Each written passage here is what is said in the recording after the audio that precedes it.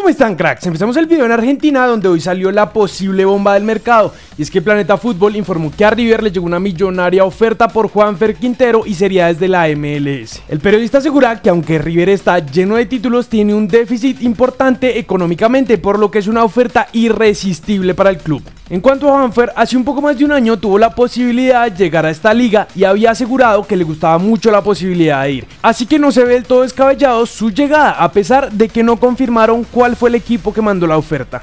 Otro que podría salir de Argentina es Villa, que aseguran le pidió a su representante buscar una salida de Boca tras no tener el protagonismo que esperaba. Incluso TNT Sports va más allá y asegura que tiene varios pretendientes, pero que primero quiere cerrar su salida antes de dar a conocer los equipos interesados por él. ¿Qué opinan de esto, cracks? ¿Creen que Juan Villa salga en el próximo mercado de sus clubes? Y si sí, ¿dónde les gustaría verlos?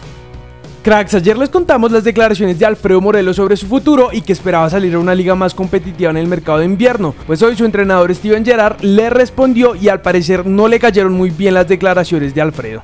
Estamos contentos con su presente y la forma en cómo viene trabajando. Está en un buen momento y actúa en un club grande en el mundo. Entonces realmente no sé cuál es la necesidad de cambiar de club. ¿Ustedes están de acuerdo con Steven o creen que lo mejor es que Alfredo salga del club?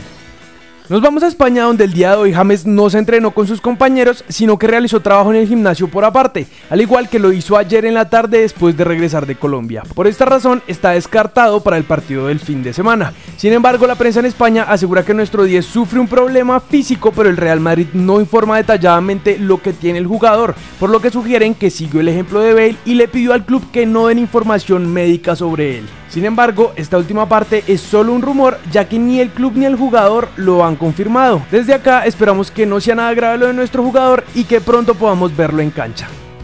Nos vamos a la Premier League a hablar de tres jugadores específicos. El primero, el Panita, que como recuerdan salió de cambio por una molestia en el último partido del Everton y estaba en duda para el partido contra el Tottenham, pues hoy su entrenador Marco Silva habló de la situación de nuestro central.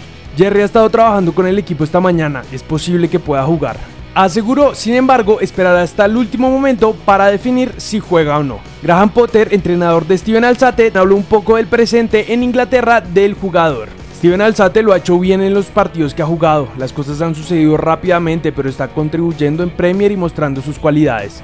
Para terminar con los colombianos en la Premier, pudimos ver a Davinson Sánchez compartiendo y jugando un rato con niños de la fundación del Tottenham. Bien ahí por nuestra central.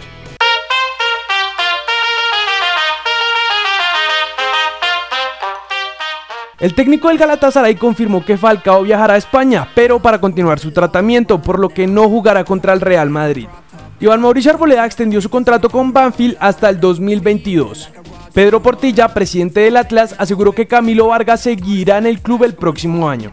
Es un sueño llegar al Mar Azul, aseguró Mayer Candelo sobre la posibilidad de llegar al banquillo de Millonarios. Eso es todo por hoy, cracks. Recuerden suscribirse y activar las notificaciones. También pueden seguirnos en todas nuestras redes sociales para ser los primeros en estar informados. Nosotros nos vemos en el siguiente video.